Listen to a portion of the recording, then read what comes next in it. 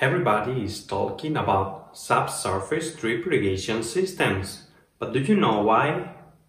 Stay with me in this video and I will tell you the advantages and limitations of subsurface drip irrigation systems.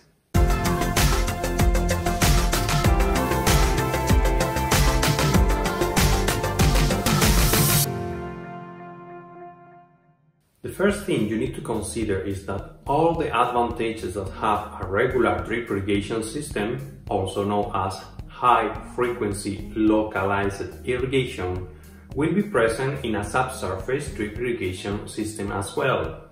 Like for example, more control over your irrigation system, less evaporation, apply water and nutrients together, apply water only where the roots are, possibility to use lower quality water, possibility to irrigate regardless shapes or hills in your farm.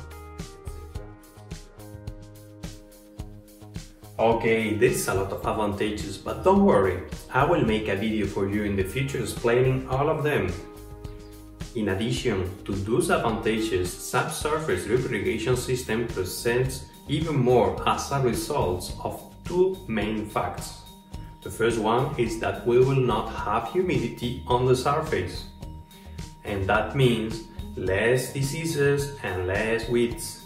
Everybody knows that most commonly seeds of weeds are on the surface of the earth.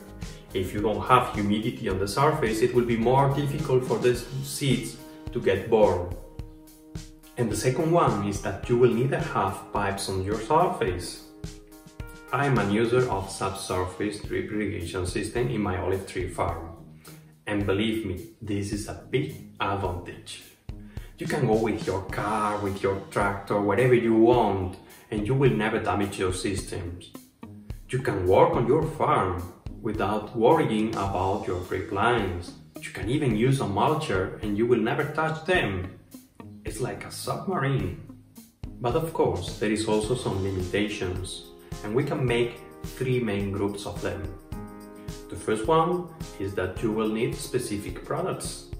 If you decide to go for a subsurface drip irrigation system, I would rather recommend you to go for a PCAS drip line. The design and installation should be made by qualified staff with the knowledge and experience on that type of irrigation systems. And the last one, the management of the system.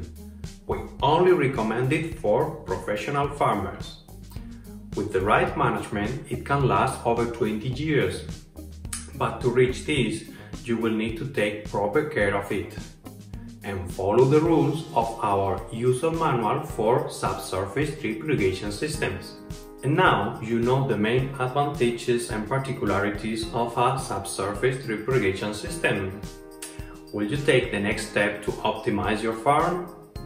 If you want more information about irrigation system, visit our website azud.com and don't forget to connect with me on LinkedIn.